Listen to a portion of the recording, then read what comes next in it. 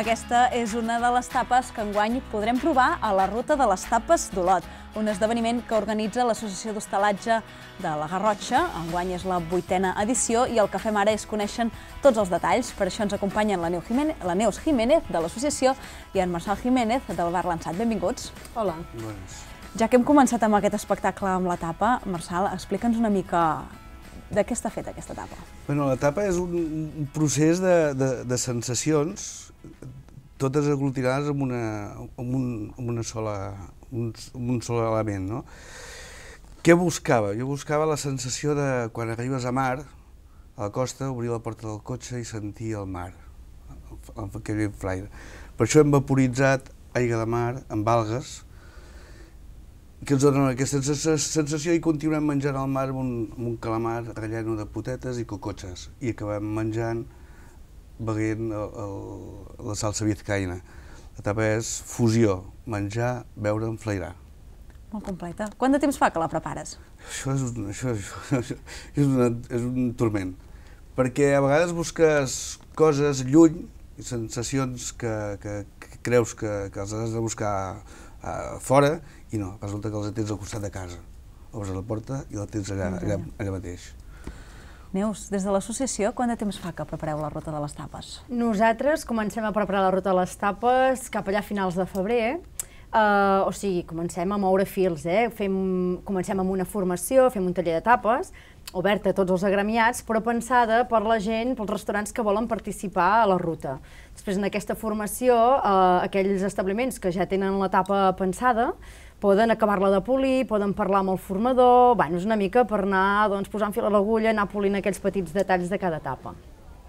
Uh, el, el que seria la base de la ruta de les tapes ja la coneixem, comencem amb el tapòdrom, que n'estem veient imatges i a partir d'aquí el que feu és convidar-nos a fer una ruta, tapa i quinto per 2 euros en 80.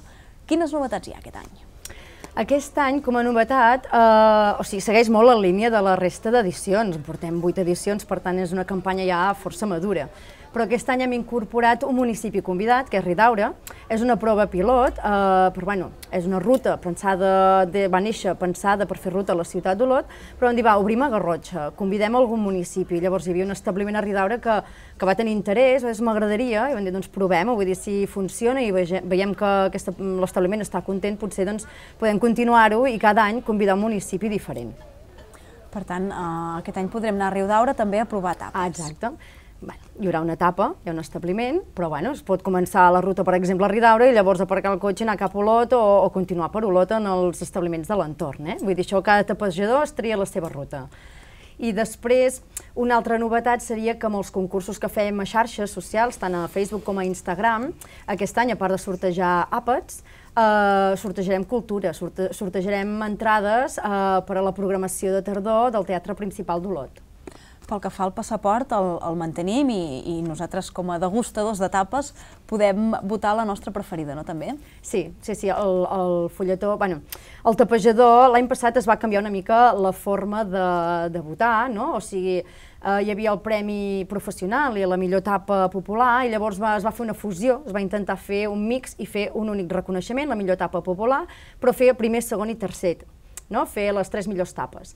Llavors, els votants, els tapejadors que podien votar eren aquells que havien provat totes les tapes. Per tant, no va ser, no va ser tan participatiu com altres edicions, però va ser més representatiu o més equitatiu per, per tots els participants, tots els establiments participants a la ruta, perquè realment els havien provades totes i tothom tenia la igualtat d'oportunitats però eh, com que la ruta és una cosa molt popular, aquest any hem recuperat la, el mètode tradicional, llavors hi ha vuit tapes, el tapejó ha de fer vuit tapes, segellar-ne cinc del centre i cinc de l'entorn, dels restaurants que no queden tant al centre d'Olot, i d'aquestes vuit que, que s'han menjat, votar la que més els hi hagi agradat. I d'aquí ens sortiran els tres primers. Uh, veiem per pantalla les tapes que aquest any uh, podrem provar i podrem degustar i votar la que més ens hagi agradat.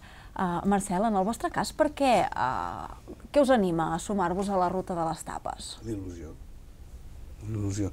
Em consta que tots els establiments, tots posem tot el nostre saber, ens posem les millors gales per aquest mes, i llavors intentem doncs, sorprendre'ns a nosaltres mateixos i, i, i els clients. Sempre és la il·lusió la que, la que mou el, el, el, aquest motor, que és la gastronomia i la il·lusió. Es nota durant la ruta de les tapes que hi ha més moviment en el vostre establiment? Absolutament, sí, sí. Passes de tenir tardes mm, amb poca gent a tenir tardes amb molta gent. I veus, veus que la gent... Hi ha com un xup-xup, hi ha com, un, com una animació de una conversa, has anat aquí, has anat allà, hi ha com una passió entre els mateixos tapejadors i recomanacions entre els mateixos tapejadors per anar aquí o per anar allà. O sigui, és, és, és, realment és maco. I els, els responsables dels establiments feu la ruta? Algunes vegades sí, algunes vegades no, depèn si tens temps. Si tens... Bueno, jo m'aprofito molt el dia del tapòdrom. Com que els tinc gratis, els faig totes.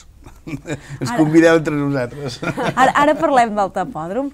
Uh, Neus, no sé si aquesta sensació de que hi ha més gent en els establiments és compartida també Sí. pel gremi i la resta de gremiats. Sí, sí, no, eh, o sigui, tots els establiments participants coincideixen en què hi ha més moviment, hi ha gent que se l'espera a la ruta, que, que un mes abans ja et demana, bueno, però què aquest any quan és la ruta de les tapes? Vull dir, hi ha gent que ja ho té com... És una cosa més a fer el calendari durant el mes de juny, te pensa que ve el bon temps, no? Vull dir que la gent té ganes de sortir, mm, bueno... És, la ruta de les tapes és una cosa molt versàtil, vull dir, es pot fer en família, amb amics, sol, en parella, com vulguis, llavors és una mica per tots els públics i sí que es nota, hi ha més moviment de gent. Sí, sí, sí. I els establiments que hi participen, per Passió. això fa vuit anys que la fem, suposo, Es veu- estan es veu contents. Sí. Es veu passió entre la gent, sí. Tot Sí. plegat comença, com comentava en Marcel, amb el tapòdrom, que serà uh, demà, aquest divendres. Uh, quin és el funcionament del tapòdrom?